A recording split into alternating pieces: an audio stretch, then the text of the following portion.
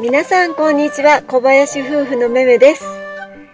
えっ、ー、とですね今日はあの、普通に買い物をしてお家に帰ろうかなと思ったんですけれども一回外に出たらちょっと寄り道をしたくなりまして今ユニクロに到着しました。なんかいいものがあったら買いたいなと思います。では行ってきます。なんか収穫があるといいな。草の自由。安くなってたので購入しました。セーターを購入しました。はいあの結構買っちゃいました。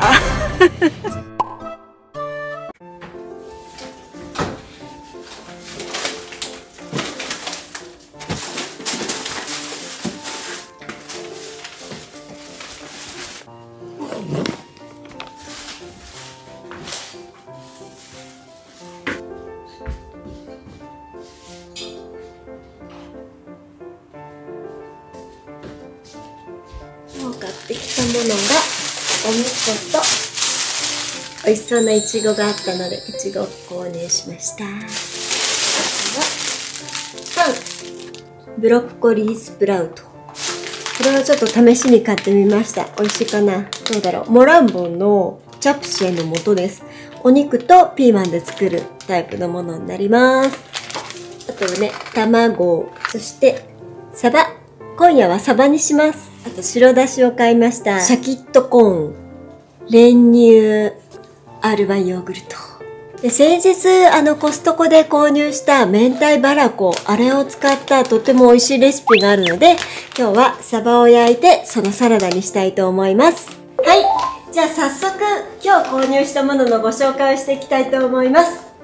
本当にね、今日はあの、ユニクロに寄る予定じゃなかったんですけど、の なんとなくそっち方面に買い物に別の買い物に行ってあの看板を見た瞬間に車が自然と入っていった駐車場にユニクロのセール品からあのユニクロ U のセーターを購入しました。プレミアムラムクロップドセーターになります。サイズが S と XL しかなかったんですけどオーバーサイズで着るにはこのぐらいでもいいのかなと思って XL にしちゃいました色がとっても柔らかいピンクで肌色がね明るく見えるんじゃないかなと思って購入しました。肌触りもそこまでチクチクした感じではないので中にちょっとシャツなんかを合わせてみても可愛いんじゃないかなと思います。これがですね通常だと2990円だったんですけどセールになっていて1290円になってました。なんか春っぽくないですか？スカートでも合いそうだしジーンズとかあの黒パンとかに合わせても可愛いんじゃないかなと思います。これはねヒートテックのマフラーを購入しました。これはね1500円でした。こういうあの柄のマフラーは1枚持っているとどんなお洋服にも合うんじゃないかなと思います。白に合わせてもいいし赤っぽいセーターに合わせてもいいしヒートテックのマフラーあったかそうだよね。セーターに合わせても絶対可愛い。ちょっと着てみます。はい着てみました。どうですか？なんかね XL ですけど思ったよりもそんなに大きくない。あったかい。やっぱね首元があったかいとなんかいいですね。じゃこちらですね。主人のパンティを購入しましたはい、お次はこちらです。ストレッチダブルフェイスナロースカートを購入しました。えーと、サイズは私は S を購入しました。割とオーバーサイズのトップスを合わせることが多いので、お腹もお尻も隠れるという体で S サイズにしました。なんかこれ系のスカートってもう本当に何にでも合うと思うので、1枚あってもいいんじゃないかなと思います。スリットが。後ろ側に入ってるのでトップスをカジュアルなパーカーとかにしたら全体的にカジュアルコーディネートにもなるしざっくりとしたセーターとかを合わせれば大人っぽい感じにもコーディネートできるんじゃないかなと思って購入しました。足元多分変えるだけでもガラッと変わると思うのでスニーカー合わせたりとか網ブーツを合わせたりとか楽しめるんじゃないかなと思って購入しました。一応春の新商品になってるので今からの季節ずっと使えるんじゃないかなと思って購入しました。はいお次はですねじゃんこちらです。ミラノリブボクシーセーター長袖です。すごく綺麗に多分着れると思います。であの前だけじゃなくて後ろ側にも線が入ってます。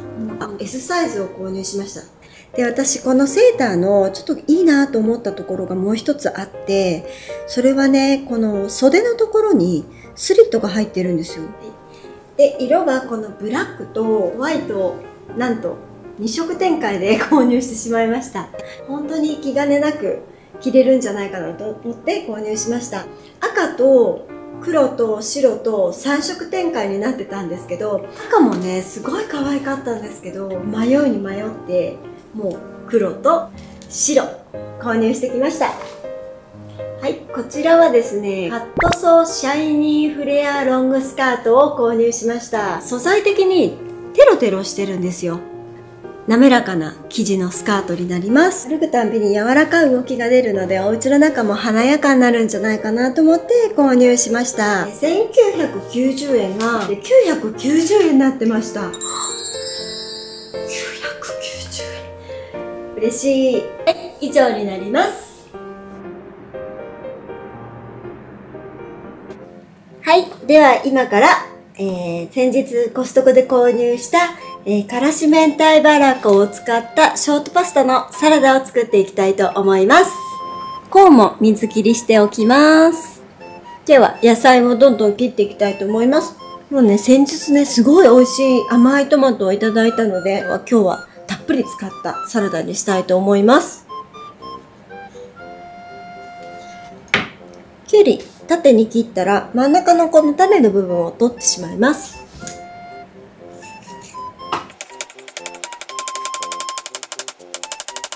えっと、4人分で 100g ぐらいですね。パスタを茹でていきます。通常よりも少し短めに、あの、固めに茹でた方がいいと思います。アレクサ、タイマーを1分にセットして。1番目1分のタイマーを開始します。はい、そしたら、オリーブオイルを大さじ1入れます。マヨネーズを入れます。大さじ2。え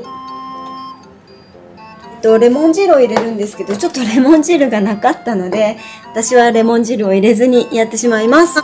白だしを小さじ1ぐらい。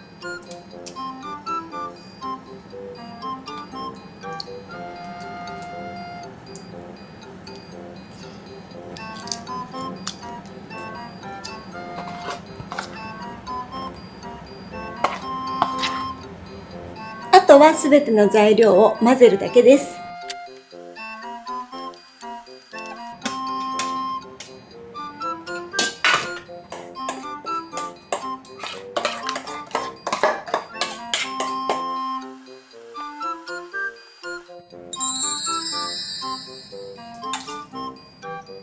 たっぷり盛り付けて完成です。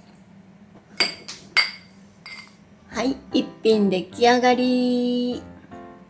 余ったものはタッパーに入れて冷蔵庫で保存します。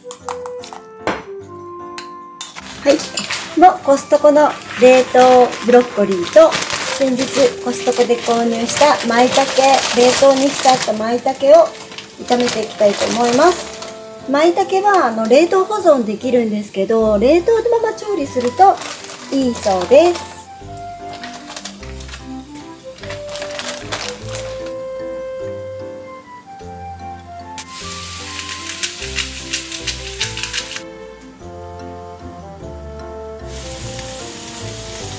ここにハムを入れて、あとはお好みの味付けで炒めていきます。はい、今日は茅野屋の青さの味噌汁を飲みたいと思います。これフリーズドライになっていて、もうお湯を注ぐとすぐ食べれるお味噌汁になるんですけど、ちょっと美味しそうなのでこちらにしてみます。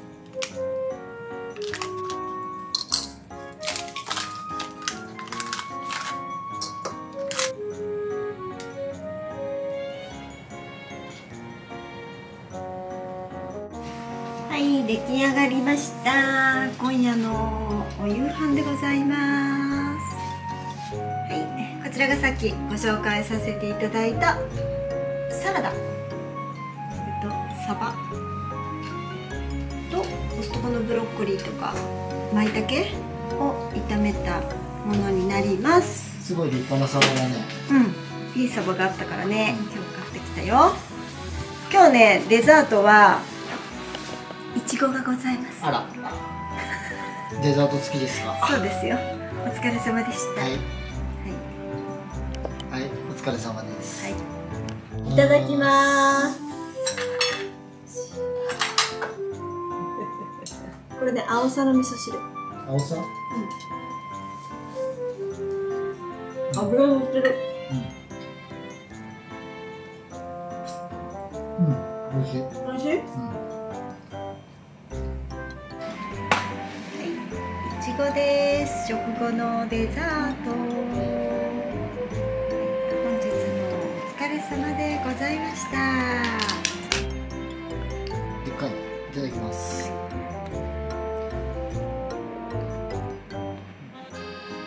美味しい美味しい。